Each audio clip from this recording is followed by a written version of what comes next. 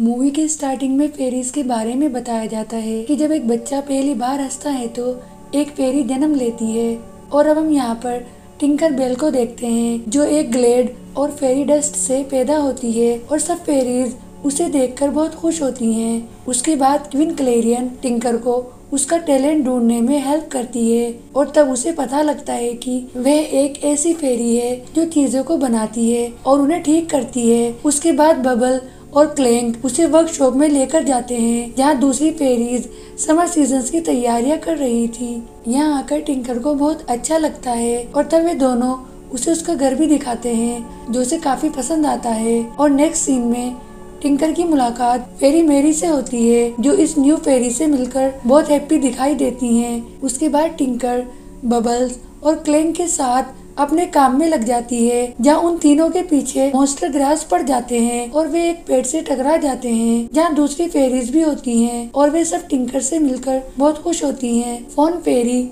जो एक एनिमल फेरी है और वे उन्हें ट्रेन करती है, और रोसिटा फेरी जो एक गार्डन फेरी है, और उसके बाद सिल्वर मिस्ट जो एक वाटर फेरी है, और इरीडेसा जो एक नेचर फेरी होती है, और वे सब मेन लैंड पर जाने की तैयारियाँ कर रही होती हैं और ये सब सुनकर टिंकर बहुत एक्साइट होती है और उसके बाद वे बबल्स और क्लैंग के साथ वापस वर्कशॉप पर आने लगती है, लेकिन तभी वे उन्हें जाने के लिए कहती है और वे रास्ते में वीडिया से मिलती है, जो एक फास्ट फ्लाइंग फेरी है। लेकिन वे टिंकर को ज़्यादा पसंद नहीं करती और उसकी इंसर्ट करने लगती है और कहती है कि टिंकर होना कोई खास टैलेंट नहीं है। अगर उसे मेनलैंड जाना है तो उसके पास स्पेशल टैलेंट होना चाहिए। और ये सब सुनकर टिंकर का मूड खराब हो जाता है और वे बहुत गुस्सा होती है। तब वे क्लैंक को कहती है कि वे उनके पास थोड़ी देर में आएगी और वे वहाँ से चली जाती है। तब उसे बीच पर कुछ सामान मिलता है, जैसे खोई हुई चीज़ें जो पानी में बहकर आ गई थी। और वे उन्हें वर्कशॉप में ले आती है और वे उन्हें देखकर बहुत ज़्यादा एक्साइट हो जाती है। और तब क्लैंक उन्हें बताता है कि ये चीज़ें मेन लैंड से पानी में बहकर यहाँ आई है। और तभी वहाँ पर फेरी मेरी आ जाती है और वे टिंकर से ये सारी चीज़ें वापस ले लेती है और वे उन्हें समर सीज़न की तैयारियाँ करने के लिए कहती है, क्योंकि रात को क्विन क्लेरियन तैयारियाँ देखने आने वाली थी। और तब क्लैंक उसे बताते हैं कि क्वीन आज सबका टैलेंट देखने आने वाली है और तब टिंकर कुछ सोचने लगती है और वे उन्हें इम्प्रेस करने के लिए एक नट तोड़ने की मशीन बनाती है। क्वीन के आने का टाइम हो जाता है। तो वे सारी तैयारियाँ देखकर बहुत खुश दिखाई देती हैं। लेकिन तभी टिंकर बेल अपनी मशीन उन्हें दिखाने लगती है। लेकिन उससे सब गड़बड़ हो जाता है। और तब वे कहती है कि वे भी दूसरी फेरीज की तरह मेनलैंड जाना चाहती है। और ये सुनकर क्वीन क्लेरियन उसे बताती है कि टिंकर फेरीज कभी मेनलैंड नहीं जाती। उनका काम यहाँ पर है सबकी हेल्प करना। और मेनलैंड सिर्फ़ वही फेरीज जा सकती हैं जो अपने मैजिक से कुछ अलग करती हैं। और ये सब बातें सुनकर टिंकर सेड हो जाती है और वापस वर्कशॉप में आ जाती है। तब फेरी मेरी उसके पास आती है और उससे कहती है कि उसे टिंकर बने रहना पसंद क्यों नहीं है? और फेरी मेरी उससे कहती है कि जब मैजिक से लाइट पकड़ना, फूल खिलाना सीख जाएगी तो शायद वे कभी मैं लैंड चली जाए। अब नेक्स्ट सीन में सब फेरीज टिंकर के बारे में वरीड होती हैं। तभी टिंक वहाँ जाती है और वो उनसे कहती है कि वे अपना टैलेंट बदलना चाहती है और वे टिंकर फेरी नहीं बने रहना चाहती। उसकी बात सुनकर सब फेरीज बड़ी हैरान होती है। अब इरिडेसा फेरी को छोड़कर सब फेरीज उसकी हेल्प करने के लिए तैयार हो जाती हैं। सबसे पहले सिल्वर मिस्ट फेरी टिंकर को पानी के बबल बनाना सिखाने लगती है। पहले वे खुद बनाती है, फिर वे टिंकर को भी ऐसा ही करने के लिए कहती है। लेकिन यहाँ पर भी टिंक गड़बड़ कर देती है और वे एक वाटर फेरी नहीं बनना चाहती। तब इरिडेसा फेरी, उसे लाइट पकड़ना सिखाने की कोशिश करती है, लेकिन टिंकर ऐसा नहीं कर पाती और वो बहुत बड़ी प्रॉब्लम में फंस जाती है। अब नेक्स्ट सीन में फेरी मेरी टिंकर को डांटने लगती है कि वे ऐसा क्यों कर रही है और वे कहती है कि उन्हें उससे ऐसी उम्मीद नहीं थी। उसके बाद टिंकर क्लैंक से भी बहस करने लगती है। अब नेक्स्ट डे वे फ़ोन पेरी से मिलती है, जो बर्ड्स को ट्रेन कर रही थी। अब टिंकर भी बर्ड्स के बेबी को उड़ना सिखाने की कोशिश करती है, लेकिन वे इस काम में फेल हो जाती है और उसके पीछे एक होक पड़ जाता है। तब एक ट्री में छिपने की कोशिश करती है, जहाँ बीड़िया छिपी हुई थी और हॉक बीड़िया को पकड़ने ही वाला होता है कि तभी दूसरी फेरी उसे बचाती है। अब हमें यहाँ पर ये पता लगता है कि वीडिया टिंकर को बिल्कुल भी पसंद नहीं करती और वे उसे बुरी तरह डांटने लगती है और वे सारा अपना गुस्सा दूसरी फेरीज पर निकालने लगती है। उसके बाद दूसरे सीन में टिंकर को फिर से बीच पर कोई भी चीज़ें मिलती है और वे उन्हें ठीक करने लगती है।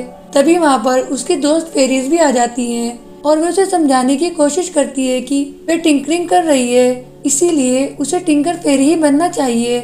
लेकिन वे उनकी बात नहीं मानती और तब वे वीडियो के पास जाती है और उससे कहती है कि वे उसे भी फास्ट फ्लाइंग फेरी बना दे, जैसे वे खुद है, क्योंकि गार्डन फेरी उसकी मदद नहीं कर रही है। अब बीड़िया दूसरी फेरीज को नीचा दिखाने के लिए उसकी हेल्प करने के लिए तैयार हो जाती है। हमें दोनों मोस्टर ग्रास को पकड़ने ही वाली थी। तब टिंकर अपने टैलेंट से उन्हें बाहर निकालने में कामयाब हो जाती है। लेकिन वीडिया चुपके से गेट खोल देती है, जिसकी वजह से सारे monster grass Pixie Hollow garden में घुस आते हैं और वे सारे समर सीज़न को बर्बाद कर देते हैं और तभी वहाँ पर क्वीन क्लेरियन भी आ जाती है, जिसे देखकर टिंकर बेल को अपनी गलती का एहसास होने लगता है और वे उनसे माफ़ी मांगती है। अब नेक्स्ट सीन में क्वीन और मॉन्स्टर डिस्कस करते हैं कि वे किस तरह से समर सीज़न को टाइम पर मेल लैंड लेकर जाएँ और अगर टाइम पर ये सब नहीं किया गया तो नेचर इम्बेलेंस हो जाएगी। इधर हम टिंकर को देखते हैं, जो टेरिन से पिक्सी डस्ट मांगती है। इधर हम टिंकर को देखते हैं, जो टेरिन से पिक्सी डस्ट मांगती है।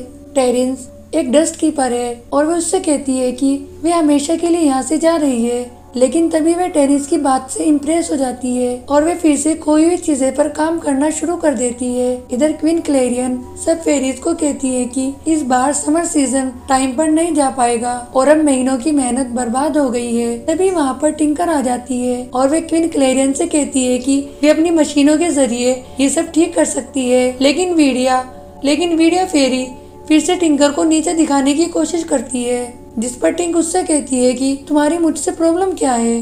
तब जल्दबाजी में, लेकिन तभी वीडिया के मुँह से सारा सच निकल जाता है कि, किस तरह से उसने मोस्टर ग्रास को पिक्सी होलो गार्डन में छोड़ा था, और अब सच्चाई जानने पर पिन क्लेरियन उसको ही मोस्टर ग्रास पकड़ने पर लगा देती है, और अब सारी फेरीज टिंकर की हेल्प करने के लिए रेडी हो जाती है, और वे सब मेन लैंड की कोई भी चीज़ें लाकर टिंकर को देती हैं। जिससे वे अलग अलग तरह की मशीनें बनाती है और तब एक ही दिन में सारी समर सीज़न की तैयारियाँ कंप्लीट हो जाती है। उसके बाद क्विन क्लेरियन टिंकर को अप्रिशिएट करती है और तब सब फेरीज को भी। और अब हम लास्ट में ये देखते हैं कि सब फेरीज टिंकर को भी मेल लैंड आने के लिए कहती हैं।